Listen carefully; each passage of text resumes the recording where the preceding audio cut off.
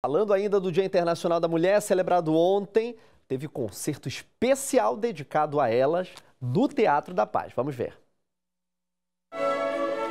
O concerto contou com a participação importante de duas mulheres, a maestrina Maria Antônia Jimenez e a solista Clara Nascimento, que destacou que as profissionais devem ocupar cada vez mais espaço na área. Me sinto muito feliz e acredito também que esse não é um lugar só meu, é um lugar que eu ocupo hoje mas que com certeza eu espero que seja o lugar de muitas outras depois de mim, né? Então agradeço muito por isso. Natural de Santiago de Cuba, Maria Antônia iniciou seus estudos musicais aos sete anos e construiu uma carreira que hoje é reconhecida internacionalmente.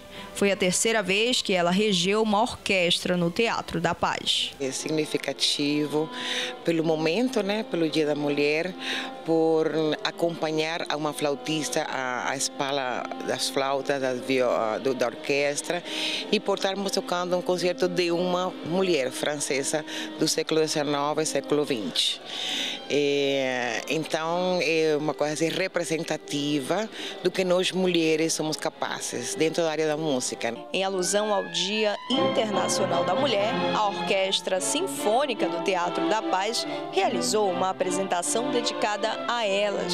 Para a gente teve uma importância muito grande é, ter essas duas artistas no palco hoje, onde a gente comemora esse Dia Internacional da Mulher e a gente chama a atenção para essa responsabilidade, para esse respeito.